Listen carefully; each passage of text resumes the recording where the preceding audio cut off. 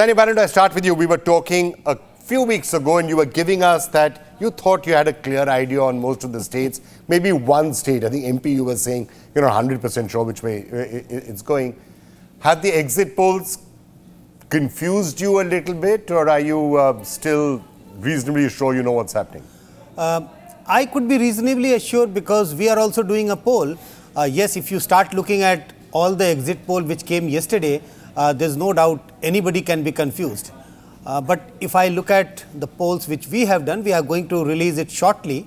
Uh, my own sense is that uh, overall, it's a tight election in most of the state, except Chhattisgarh, where I think Congress still has a uh, decisive edge. Congress is certainly winning Chhattisgarh.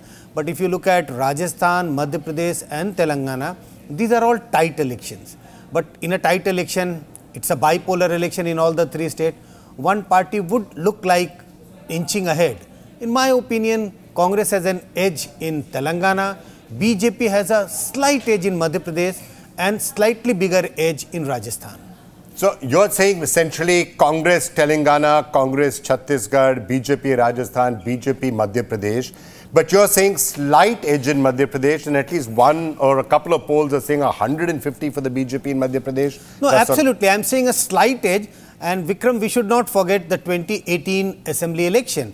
What happened in 2018 assembly election in Madhya Pradesh, BJP got more votes. They ended up getting less seat. My own sense is that it is likely to be repeat of 2018 when it comes to vote share.